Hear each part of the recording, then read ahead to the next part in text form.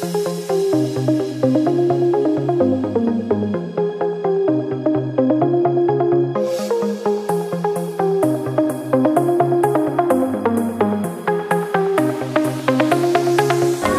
Balai Sujat Moko Solo ini saya melakukan atau memamerkan sejumlah karya dalam satu balutan tema memedi sawah. Artinya uh, memedi yang akhir-akhir ini tidak lagi hanya menakutkan burung seperti fungsi awalnya, tetapi sudah menakutkan kehidupan kita sehari-hari sebagai uh, sebuah bangsa. Artinya di sana ada problem-problem kebangsaan yang sangat menakutkan akibat salah satunya kehidupan atau kondisi politik dan beberapa persoalan lain yang arahnya memecah belah kebersamaan kita.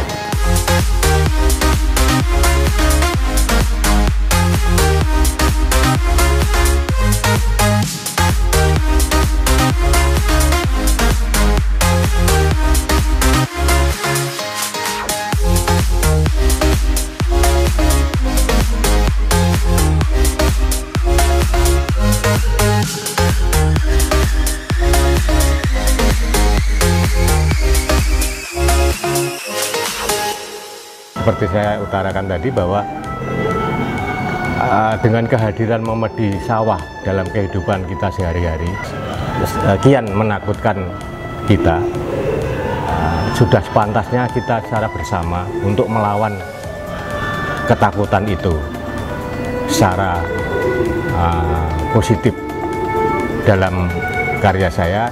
Saya gambarkan itu dalam uh, semangat tertawa dengan tertawa bersama. Kita berharap segala hal yang beraura negatif dari kejahatan, dari situasi yang penuh kebencian, hujatan dan segala macam seperti akhir-akhir ini terjadi itu menjadi sirna atau terkalahkan oleh kekuatan tertawa secara bersama.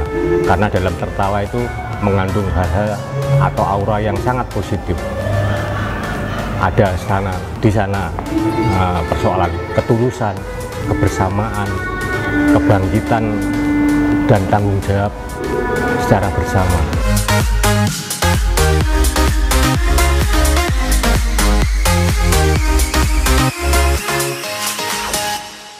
Itu ada 100 memedi sawah, masing-masing membawa panel lukisan orang tertawa orang itu bisa siapa saja uh, tidak harus menunjuk ini A, ini B, itu kita semua ini mewakili wajah kita sebagai bangsa, sebagai rakyat Indonesia seperti itu. Itu ada 100, lantas ada teks syair Ibu Pertiwi, itu ada 15 panel.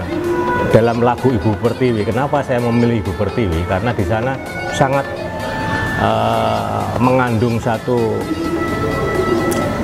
isi kandungan isi itu sangat-sangat bagus sekali. Judul ini karya instalasi saya. Judulnya jangan takut memedi sawah.